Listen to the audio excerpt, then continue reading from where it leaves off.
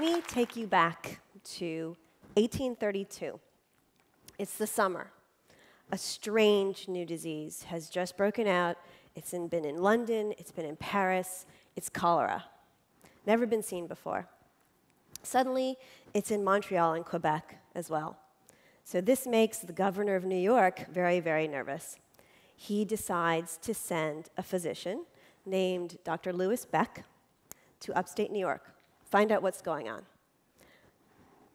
This is a map of what Dr. Beck discovered at that time. It shows a pretty clear picture, I think, to us today, right? It, cholera is heading straight down the Hudson River and the Erie Canal for New York City. Of course, that's what we see today. That is not what Dr. Beck saw at all. According to the reigning paradigm of the day, diseases were caused by something called miasmas, right? These were low lying, stinky airs. So the medical establishment at the time, they had no experience of cholera before, but they applied this paradigm to their thinking about this new disease too, right? Why not? So for Dr. Beck, you know, cholera was something that you inhale. We see this very clear picture. Cholera is coming down the waterways, it's heading straight for New York City. But for Dr. Beck, this was a problem of bad smells, only the poor were getting sick with cholera, he said. Only the drunks, only the immigrants. As one of his colleagues put it at the time, cholera is a disease of the atmosphere. It's carried on the wings of the wind. So we live in an era of emerging diseases too. Strange new diseases are around us. In the last 50 years, 300 infectious diseases have either newly emerged or reemerged into completely new, territory where they've never been seen before, like Ebola in West Africa right now. We have novel avian influenzas that infect people, uh, coronaviruses that cause new diseases like SARS and others, cryptic tick-borne pathogens, and of course, increasingly virulent antibiotic resistant bacteria. Death toll is already rising because of these new diseases. Between 1980 and 2000, in the United States alone, uh, deaths from infectious diseases rose by 20%, nearly 60% if you count HIV as well. So I'm not saying we're like Dr. Beck, but we have our paradigms about where these new diseases come from, too. Take West Nile virus, for example It first erupted in 1999 in New York City with an outbreak, um, had never really been seen at any scale in the United States before. Um, suddenly, 3% of the population of Queens is, has been exposed to this virus. Right? So this is like a mystery. Where did this thing come from? Well, an early theory was that perhaps it was the work of a certain unpopular Middle Eastern despot I mean, of course, to be fair, this was in 2000, and blaming Saddam Hussein for things was sort of, you know, the trendy thing to do. So, you know, just to be fair to the New Yorker. Um, but that idea of uh, terrorism was soon eclipsed by what was what would really become the paradigm in our era of strange new diseases, and that's the paradigm of invasion. This idea that we are being attacked by this onslaught of microbial pathogens and their vectors, and we're kind of the, you know, the passive victims of this. I like to call it a microbial xenophobia. Um, so, you know, in the case of West Nile virus, we look at that as a disease that's attacked us from Africa. In the case of dengue, dengue fever just emerged in Florida in 2009, hadn't been there for 70 years. Um, we kind of characterize that as an attack of disease from the tropics. In the case of Lyme disease, that emerged in the late 70s. It was a strange attack of arthritis in children that first triggered that um, epidemic. And we characterize that as an invasion, too, an invasion of, of deer and the ticks that bite deer. So when I first started looking into where these new diseases are coming from. This idea of invasion, it, it, it made a certain amount of sense, you know. Um, but you just have to dig a little bit, and it starts to seem strangely inadequate, as inadequate as miasmatism was in 1832, even. West Nile virus. Okay, so according to the paradigm, West Nile virus attacked us from Africa, right? And that's what triggered this epidemic, this outbreak in 1999. Except West Nile virus has actually been traveling the world in the bodies of migratory birds since at least 1937. That's when it was first isolated. And it's not as if New York City is a stranger to migratory birds. They actually land there by the millions every year because the city's on the Atlantic Flyway. So, this idea of invasion doesn't really explain why West Nile virus emerged when and where it did. In the case of dengue, well, we characterize that as a attack of disease from the tropics, but you know, I mean, look where Florida is. It's, it's surrounded by countries where dengue has been endemic for a long time. And those mosquitoes that carry dengue, they're not new in Florida either. They've been there for a long time too. So this idea of invasion doesn't really explain why dengue emerged in 2009 either. In the case of Lyme disease, well, the ticks are not new. They've been biting us for years. Um, and there's evidence of the, the bacteria that causes Lyme disease, Borrelia burgdorferi. There's evidence of that bacteria present in bodies that date back to the Copper Age. In fact, so we've had that for thousands of years too. Now, this matters, I think, because the way we uh, characterize where these new diseases come from, it shapes our responses to them. Take Dr. Beck again. So he, he logged this information, right? This that cholera is coming down the waterways. That's not what he. That's not how he saw it at all. He goes back to the governor of New York State, and he says, "The people of New York City have nothing to worry about. All they have to do to avoid cholera is to get rid of all those stinky airs in their streets and homes." And so, instead of quarantining the ship traffic coming down the Hudson River and the Erie Canal and into the port of New York, the people of New York City did things like burn barrels of tar. They uh, strung up meat on poles. That was to soak up the cholera vapor. In London, people did things like dump more of their human waste into the drinking water in the face of cholera. They, they actually stepped up their dumping of human waste into the drinking water when cholera was coming.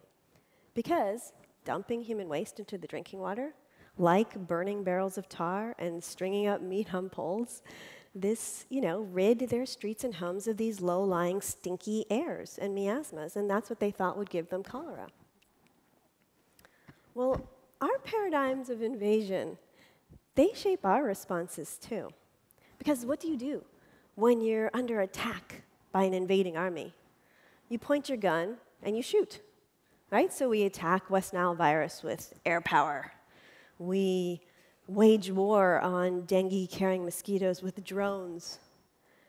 We have actually killed so many deer in order to control Lyme disease that the History Channel created a reality TV show about people who hunt deer to control Lyme disease.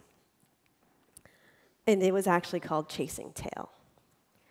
Um, so, does this approach work? Well, you know, we, can, we know what happened in New York City in 1832, right? It was pretty predictable. Cholera entered through the waterways into the port of New York, spread throughout the town. Thousands of people died. This was despite burning the barrels of tar.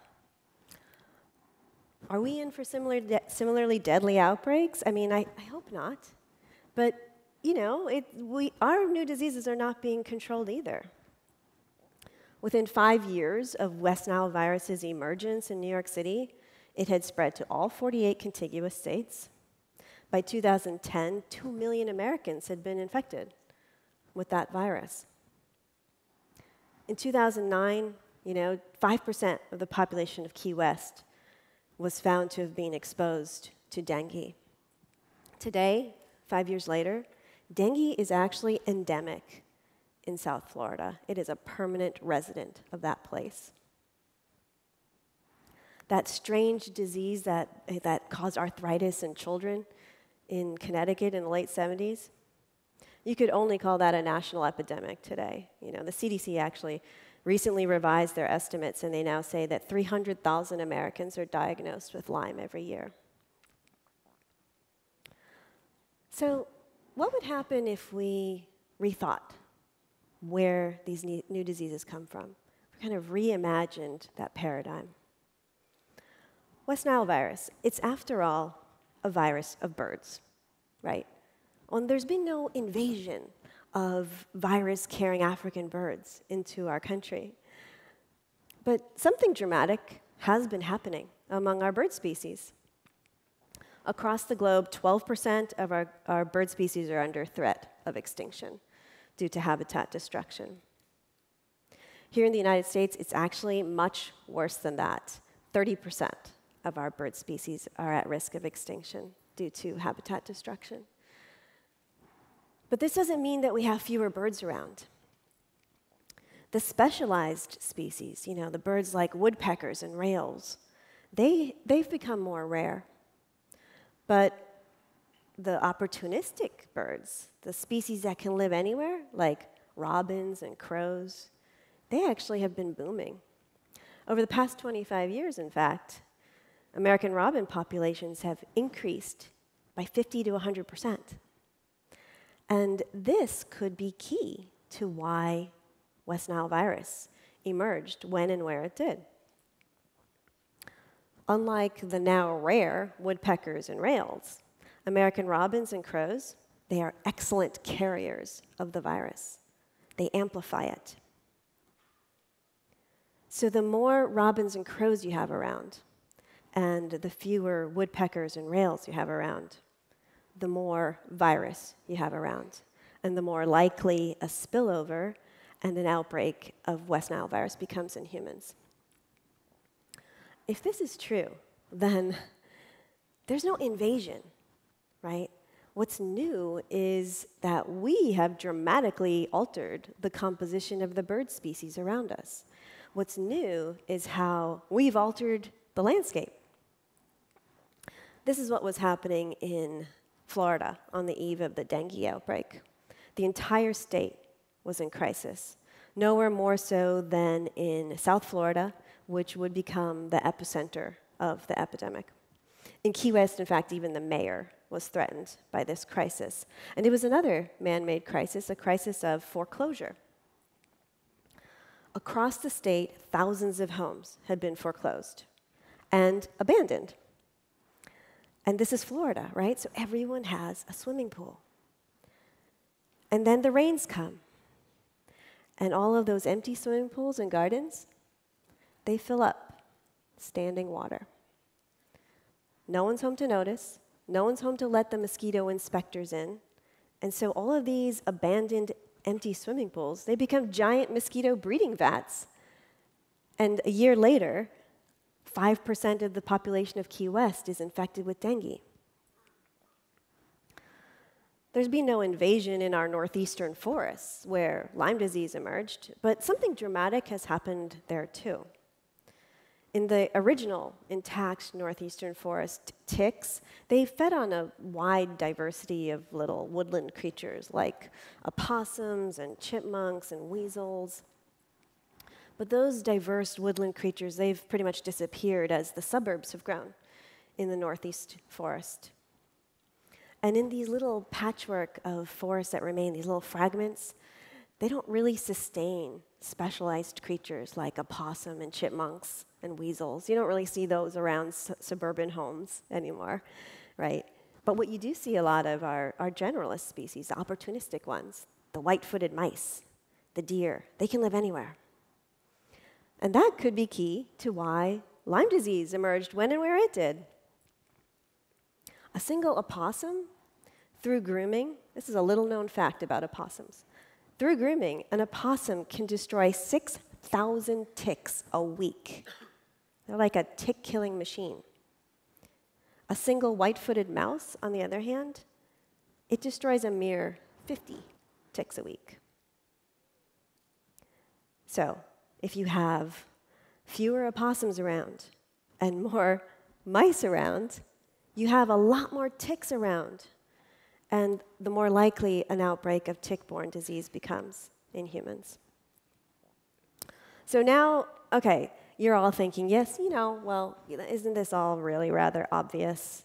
You know, I mean, we all know. Diseases aren't caused by single factors. Of course, there's environmental influences and social influences and economic influences because, you know, diseases are multifactorial. Well, cholera was considered multifactorial back in the 19th century, too. In fact, it wasn't long after poor Dr. Beck dispensed his stinky air theory of cholera that the anesthetist John Snow came up with his famous map. It's a cluster of cholera cases around a, a well on Broad Street in Soho, London. Right?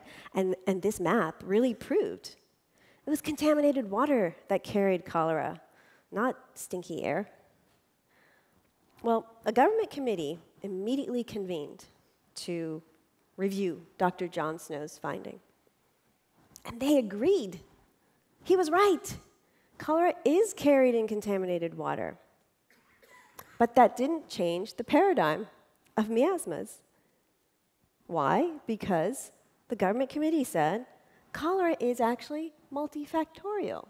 It can be carried in either the water or the air, and of the two, really, air is more important. So, 50 years after the medical establishment accepted John Snow's finding, people continued to do things like burn barrels of tar and string up meat on poles to ward off cholera. And thousands of people died. Repeated cholera outbreaks occurred in a, a slum in New York City called Five Points.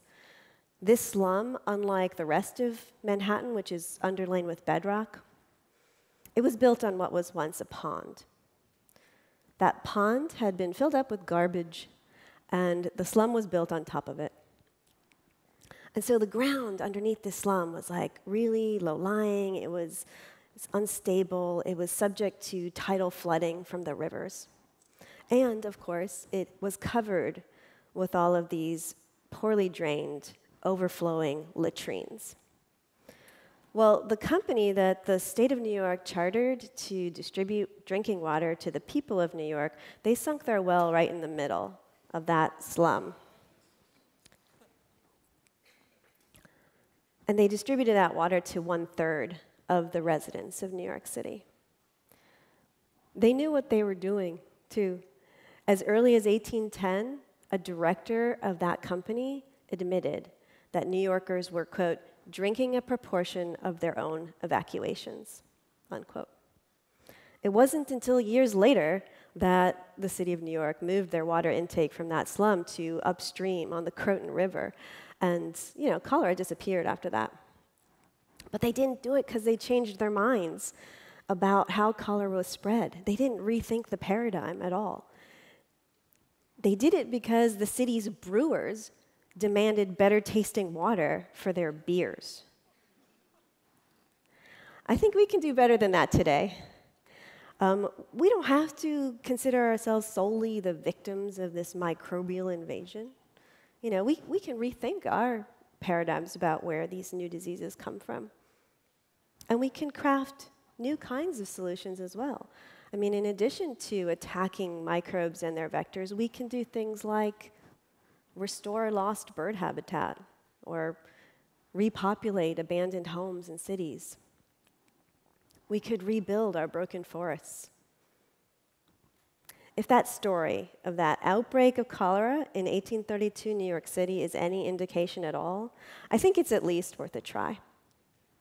Thank you so much.